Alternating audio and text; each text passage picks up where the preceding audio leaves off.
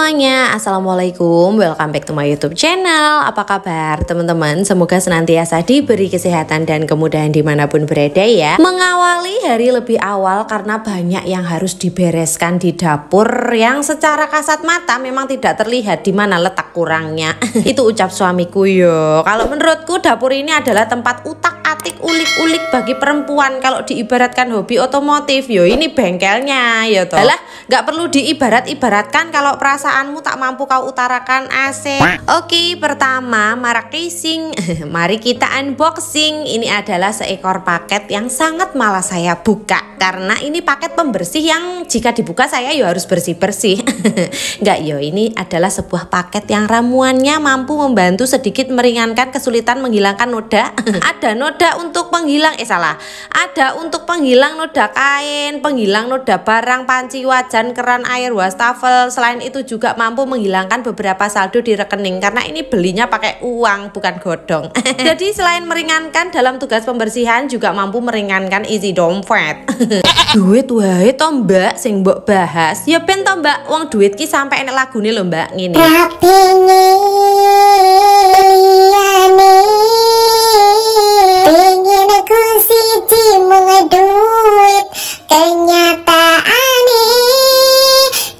do.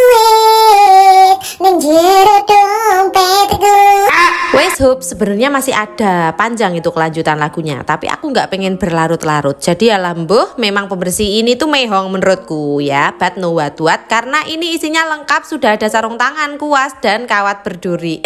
Bukan ya kosokan kawat. Gosokan kawat yo. Bunda bundi nah seperti yang bunda bundi lihat serbetku wes mbulak rupanya kateng pelentong kayak gini ya bunda bundi ini sudah tak coba berbagai macam cara yaitu sudah tak konsultasikan ke berbagai macam media. Tapi tidak ada yang bisa memberikan saya solusi untuk mempercepat menghilangkannya. Karena ini aku sudah tak cuci beberapa kali tak guiling neng mesin cuci beberapa kali. Yang biasanya kalau kena noda itu tak kasih sabun mandi itu cepet hilang. Ini nodanya bener-bener buandel pol mungkin saking kotornya gitu loh ya bunda budi kayak warnanya itu putih. Jadi kalau teman-teman kepo bagaimana saya membersihkan barang-barang yang berwarna putih uh, supaya tetap putih seperti itu ya caranya seperti ini. Menggunakan pembersih jadi bisa langsung cek linknya di description box. Nah selain serbet-serbet kumal itu saya juga memiliki simpanan gombal lama mukio yang sudah bulak bagian bawahnya.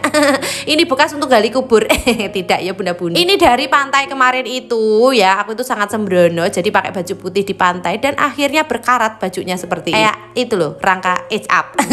Nah seperti ini kalau rangka anda berkarat bisa dikum pakai pembersih ini yo ya ini buat gombal bukan buat rangka ya bunda bunda jadi ini bisa dimasukkan ke eh dimasukkan. Caranya itu dituangkan ke uh, baju baju atau kain atau uh, apa pun itu gombal dan sebagainya di atasnya dituangkan beberapa serbuk kemudian kita tuangkan air panas mendidih supaya dia tersiksa. Dan didudel-dudel langsung pakai tangan supaya tanganmu melonyoh. Yora yo bunda bunda ini pakai sutil kayak gini loh ya supaya tidak kesetrum.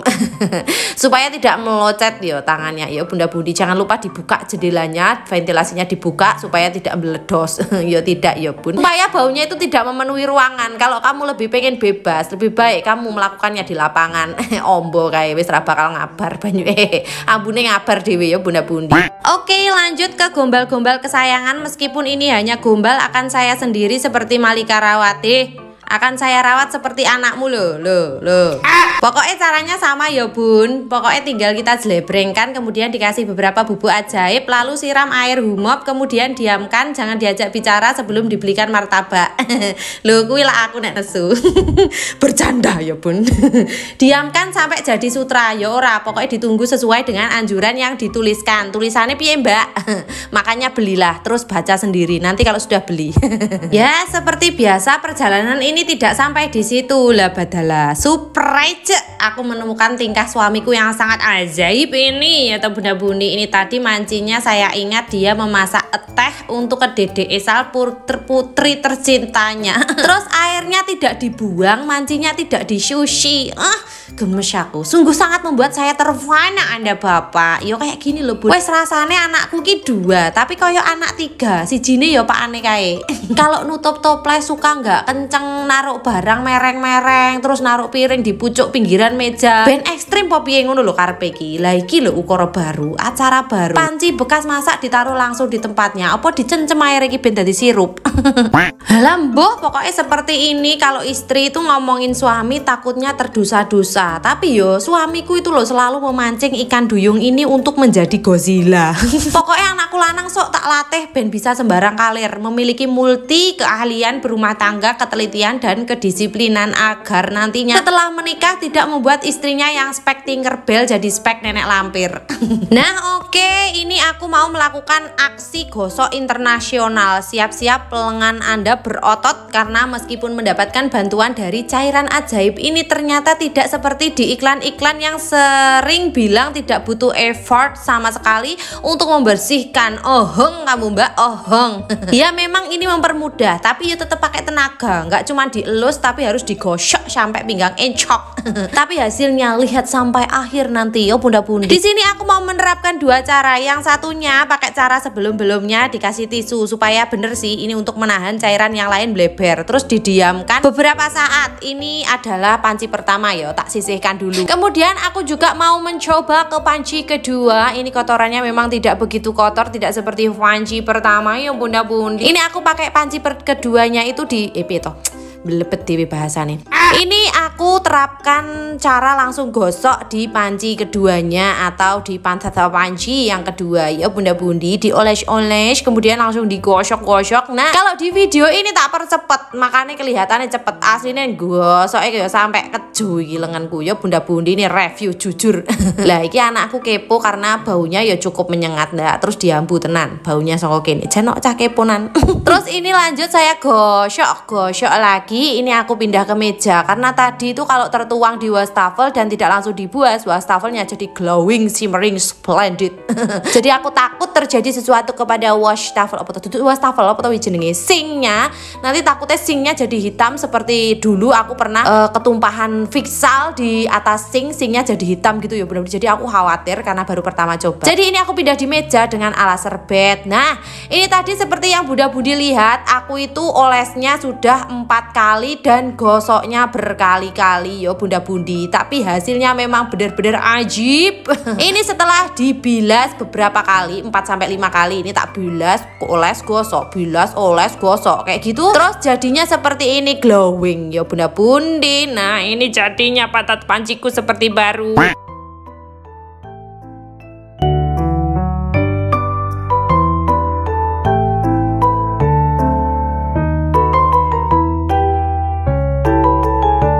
Hore percobaan saya sudah berhasil. Ini yang pertama hati-hati besok jadi binaragawan.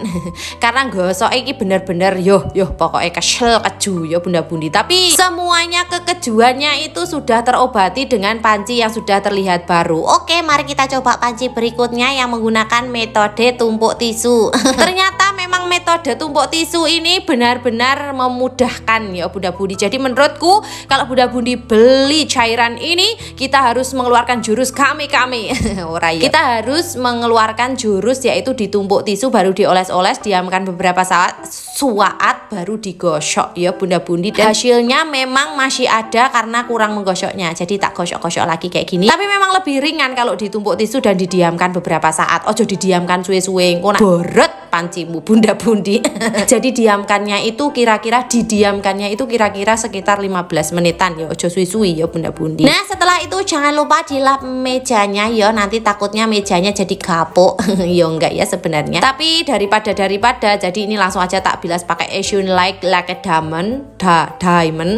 Terus dilap lagi mejanya supaya bersih. Dan ini mau aku bilas lagi pakai sabun pencuci piring. Ya udah budi dicuci semuanya sampai bersih harum dan wangi dan seperti baru lagi hore seperti ini yo. Ini adalah pantat panci eh pantat panci astagfirullahaladzim. Panci yang sangat tidak terawat karena memang tidak terawat karena males banget menggosoknya. Jadi sekali menggosok langsung seperti baru kayak gini. Kalau dulu duduk dulu aku itu menggosok panci itu pakai apa tuh jenenge ngono kayak abu gosok. Iya toh, dulu minta ke pabrik kerupuk ya bunda bundi gaine aku sama ibuku itu almarhum ibuku waktu kecil disuruh minta abu gosok ke pabrik kerupuk ya bunda bundi karena di sana banyak tumpukan eh, arang, eh bukan arang, apa tuh jenenge gabah, bukan gabah, padi yang dibakar itu loh, kulit padi yang dibakar itu loh buahnya. Terus buat menggosok panci atau wajan di rumah yang oh, warnanya sangat tidak terkira itu. Dan biasanya tugas itu adalah tugas saya sebagai anak perempuan satu-satunya waktu adik cewek saya yang sangat bahinol itu belum lahir ya tuh benda bundi. Wis malah cerita silsilah keluarga gitu ya maksudnya.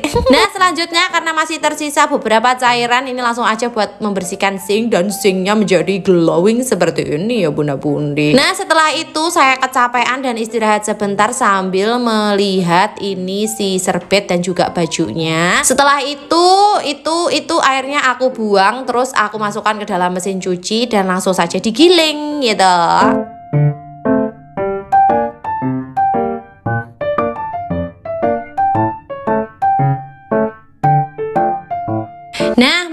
Memiliki barang banyak seperti ini atau perabot yang berbagai macam di rumah itu menyenangkan, memanjakan mata ya Bunda Budi. Tapi yo harus rajin dan siap merawat serta membersihkan. Seperti halnya rumah. Untung rumah ini itu tidak seluas istana-istana orang kaya, cukup rumah mungil yang dengan kemampuan sendiri mampu membersihkannya. Lah gimana belum bisa gaji ART? Yo apa-apa dikerjakan sendiri yo Bun.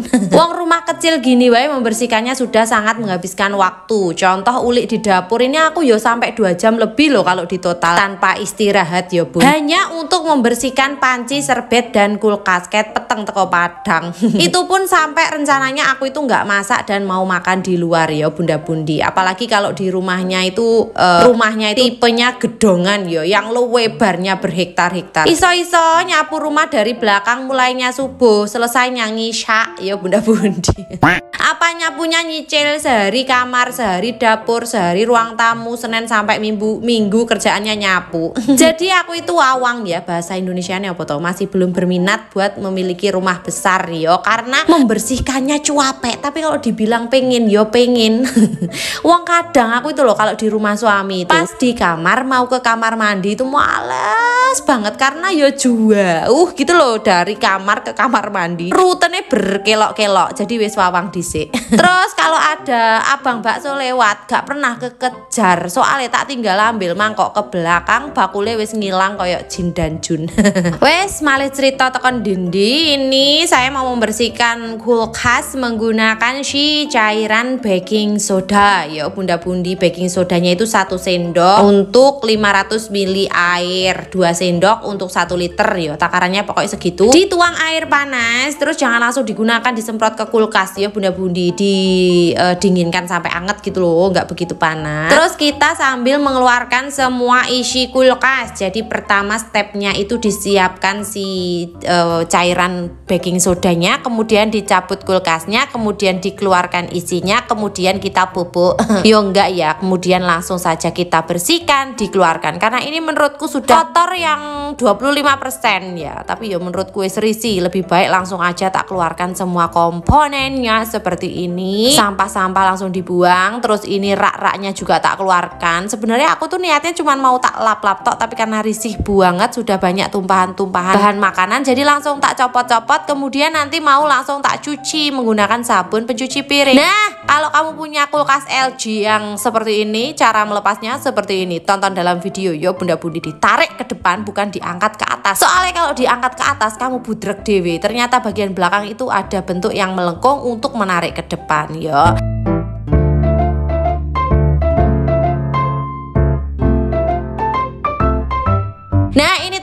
untuk bumbu-bumbu dasar yang aku buat. Ternyata yang nggak begitu kepakai itu bumbu dasar bawang putih kali ini. Tapi nggak apa-apa karena itu nanti mau aku pakai untuk ngungkep ayam dan bikin beberapa berbagai macam masakan. Setelah ini ya bun. Terus yang bumbu dasar kuning buat ungkep ayam juga. Oke lanjut. Wadah yang sudah kosong mau aku cuci untuk digunakan lagi sebagai tempat uh, saat sudah membuat bumbu dasar yang baru ya toh. Kemudian saya akan melanjutkan misi mencuci semua yang harus dicuci mencuci. Biasanya pertanyaan yang paling dasar adalah kapan waktu yang tepat untuk membersihkan kulkas? Itu tergantung masing-masing orangnya. Bagi orang-orang yang memiliki waktu luang, diusahakan bersihkan setiap uh, tempat yang sudah terlihat kotor di dalam kulkas. Maka nantinya kalau kulkas sudah kosong, proses membersihkannya itu lebih ringan ya Bun kayak gini. Sebenarnya yang dibutuhkan tidak hanya waktu luang ya Bun, tapi niatnya juga. Soalnya ada banyak ada banyak orang yang memiliki waktu luang tapi males. Alhasil ya menabung. Menabung apa? Menabung kotoran dan bau di dalam kulkas. Seharusnya kulkas itu menjadi tempat yang higienis karena untuk menyimpan bahan makanan. Ya bunda bundi bukan untuk tempat yang pembusukan atau pemusnahan bahan makanan. Jangan sampai daging ayam yang disimpan sampai jadi fosil ya toh karena lupa. Terus ada juga yang menjadikan kulkas sebagai tempat menumbuhkan tunas saking ditumpuk-tumpuk isian kulkasnya ya bun. Jadi nyimpen sayuran sampai tukul ya toh sampai keluar tunasnya tapi sebelum berumah tangga itu aku juga seperti itu. tidak munafik saya. Saya itu tidak begitu peduli dengan peralatan rumah tangga dan perdapur-dapuran. Biasanya malah aku kalau nyimpen apa-apa di dalam kulkas itu lupa. Kadang juga kalau nyimpen makanan di dalam kulkas itu musnah dewe. Soalnya apa yuk dijupuk karo wong. Karena lupa. Terus inget-inget sudah hilang musnah ya tuh bunda bundi.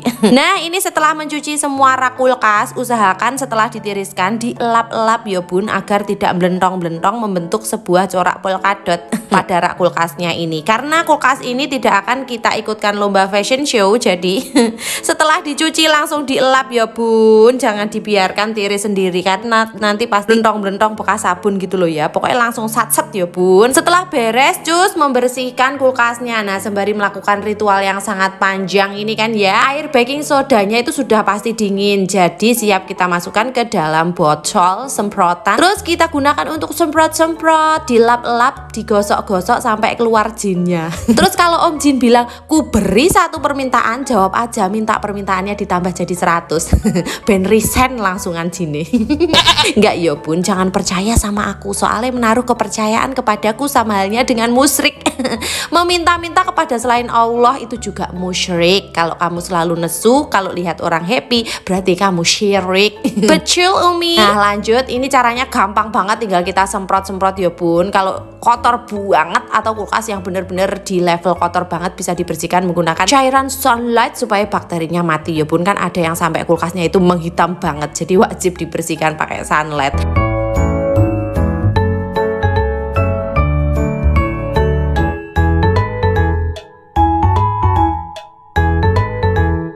Alhamdulillah ini suamiku membantu berkecimpung di dalam kegiatan mbok-mbok yang tidak selesai-selesai dari tadi. Ya bun Jadi dia bantuin karena greget ya. Dia membantu mencuci piring dan itu memang seharusnya dari tadi. Nah ini kalau kulkas tidak begitu kotor seperti saat ini Aku pakai air baking soda tinggal disemprot kemudian dielap dan dibilas lagi menggunakan lap yang sedikit basah. Jangan komoh-komoh yo bunda bundi Tapi kalau kotornya sudah di level akut nauzubillah zalik. Biasanya aku pakai spons cuci piring diberi sabun cuci piring diperes sponsnya jangan komo-komo ya bun. Dan elap seluruh bagian kulkas. Menggunakan spons tersebut kemudian elapnya dibilas menggunakan air. Dan setelah itu diperas. Gunakan kain lap yang sudah diperas tersebut jadi setengah basah itu loh yo untuk membilas kulkasnya. Mudah sekali bukan? Oh ya keuntungan menggunakan air baking soda ini adalah mampu membersihkan serta mengusir bau pada kulkas. Kalau mengusir kesedihan ibu-ibu itu transferan dari sampean mas. Lah kalau sudah selesai semuanya jangan lupa langsung kembalikan rak-rak ke habitatnya karena terlalu rawan berada di luar. Jangan ditunda karena sesuatu yang ditunda pasti akan tertunda.